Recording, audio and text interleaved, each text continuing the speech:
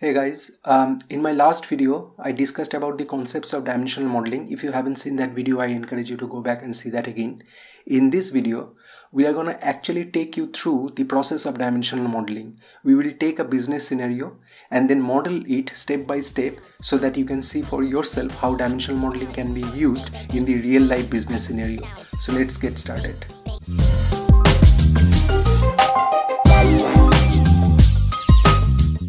Okay.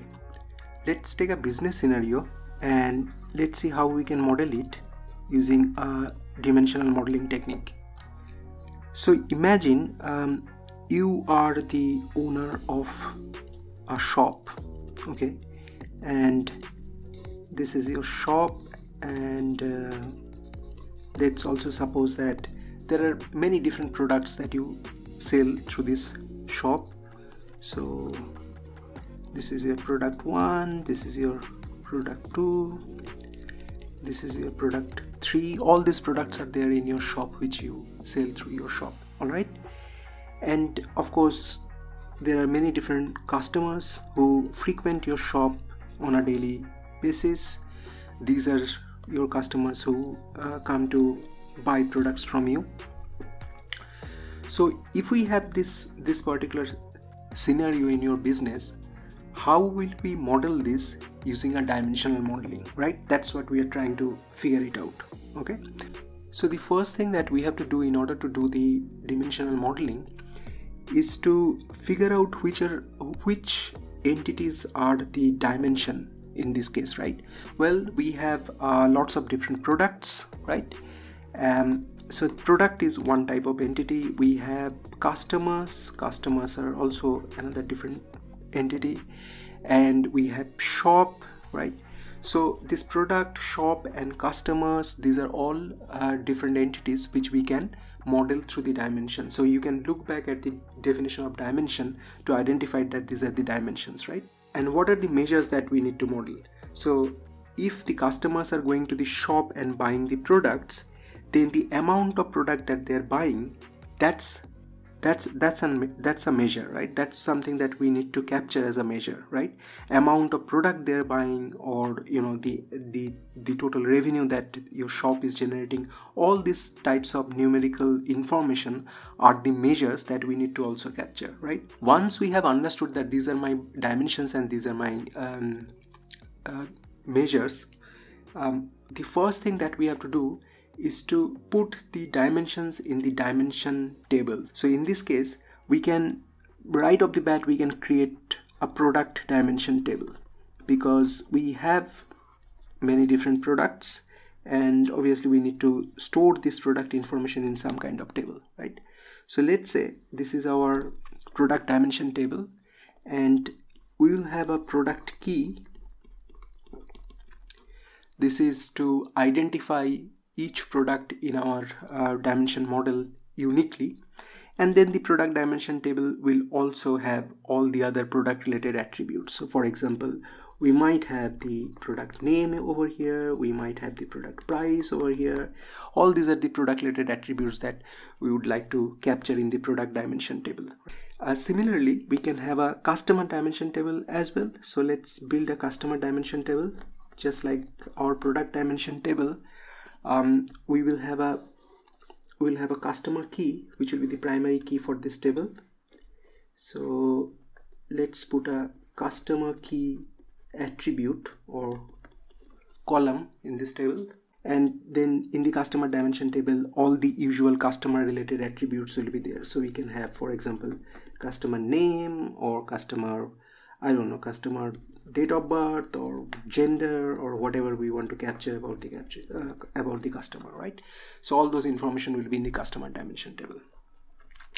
Now after we have this product and customer dimension table let's see what other dimension table we will require. Well before we can actually capture the measure we also need to understand at what point in time that particular transaction between the product and customer occurred which means that we will require a time dimension table. So let's let me maybe over here I can put a time dimension table. And just like any other dimension table this time dimension table should also have a time key. So that's the primary key of this table. And then um, this against this time key we can capture different time related attributes. For example what day is it or what month is it or maybe what year is it right? All this information we can capture in this time dimension table. Once we have this product and customer and time dimension tables ready we need to create the fact table. So let's build our fact table over here. So we'll create a fact table like this and what are the attributes that we are going to put in this fact table? So if you remember from my previous video the fact table actually contains the primary keys of the individual dimension tables. So look at our product dimension table. In the product dimension table the product key is the primary key right? This is a primary key over here right? Similarly in the customer dimension table we have the customer key which is the primary key and so on in time dimension table right? So the primary keys of the dimension tables need to come to the fact table as the foreign key okay? So we will have a product key over here all right? We'll have a customer key over here. We'll have a time sorry key over here. These are the various different um, dimension table keys that we must put in our fact table in order to capture the relationship between all these dimension tables. Then what is the measure that we are capturing? So let me by the way write it down as a fact table right? So this is our fact table and we can call it uh, maybe the sales fact right? Because we are putting the sales information in this fact table so so now the question is what sales information do you want to capture? Well for this example uh, take the simplest sales measure that you can capture. Maybe you want to capture the amount of goods sold right? Amount of product sold. So in that case amount may be a measure that you want to capture in in this in this fact table okay so now moving back to the example of our business over here, let's take an example of a actual customer uh, going to your going to your shop and buying something, right? So let's say customer C1 over here, this customer, and let me just quickly change my color of my pen.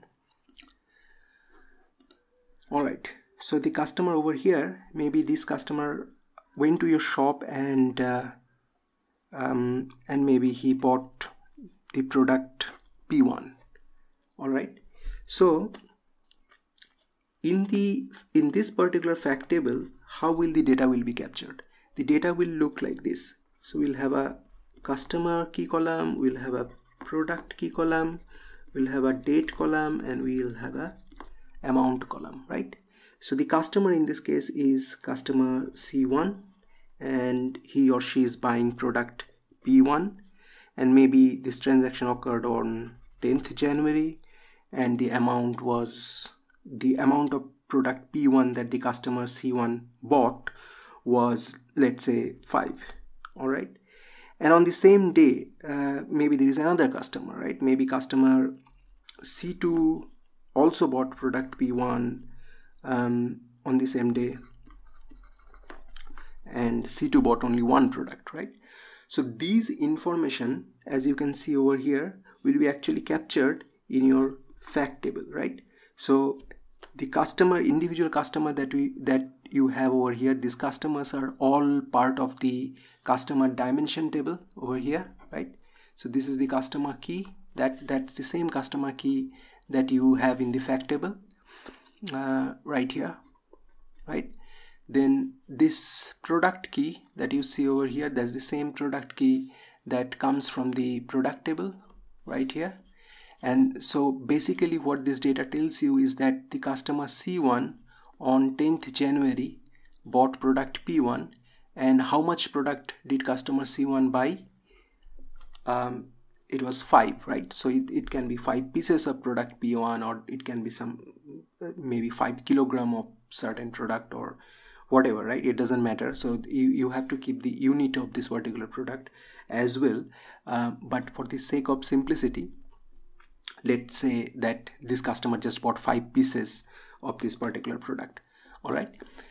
So oh, by the way over here in the date i kept it as 10th january. But actually if you see over here the 10th january might be represented with a different time key. So for example if the day is 10 and the month is january which is like 01 right? And let's say the year is 2021 you can choose to create a time key with the format of let's say y y y y m m d d right? And then this 10th january date will basically just become 2021 um 01 01 is the month uh, 10 right? So this 10 is the day portion over here right? 01 is the month portion here and 2021 is the year portion right? So this key uh, this particular key may actually look like something different. It may not look like 10 January. It might uh, be numeric and it might look like like 20210110 right? But you got the idea. So basically that's how the the product uh, dimension table should look like. Important thing to basically see from this picture is that how your product keys are flowing from one particular table to another table right?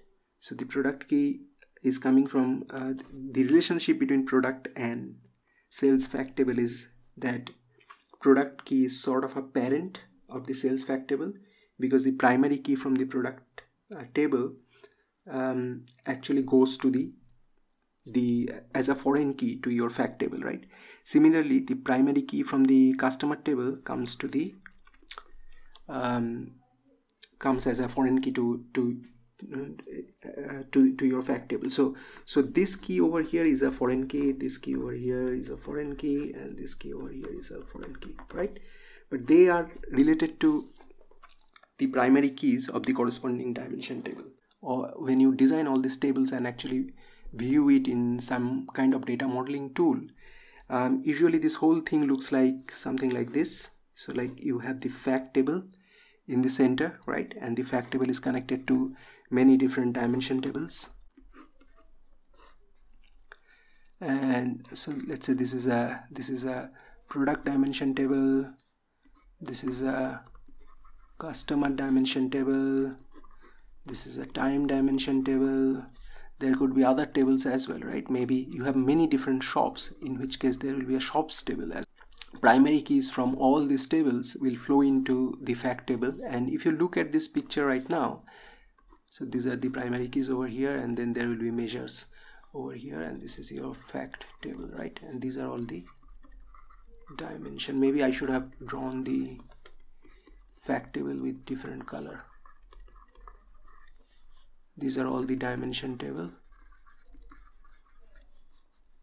And and inside uh, and in the center you have the fact table sitting over here right? So if you look at this picture this picture often looks like a star and therefore the schema is called the star schema okay? So this is a very standard uh, dimensional modeling schema design which we call star schema. In the in my next video i'll create a different schema which is known as snowflake schema and also tell you why snowflake schema is required and in who, what which case uh, you might need to snowflake your star schema um, but that's that's a topic for the next video in this video, I just wanted to give you a practical example where we started from a real business situation on our left hand side and from starting from this business situation, we wanted to convert this business into a dimensional model. What did we do? We identified, number one, we identified the dimension um, like product dimension, customer dimension, etc.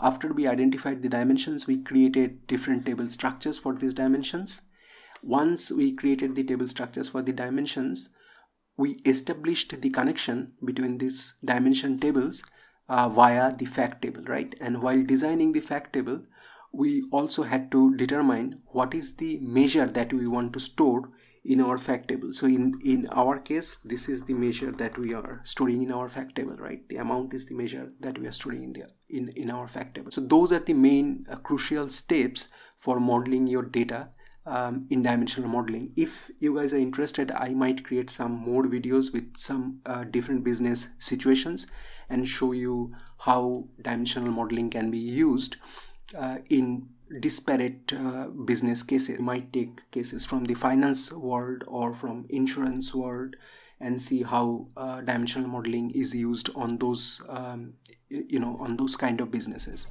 So that's it for now and i'll i'll see you in the next video. Thank you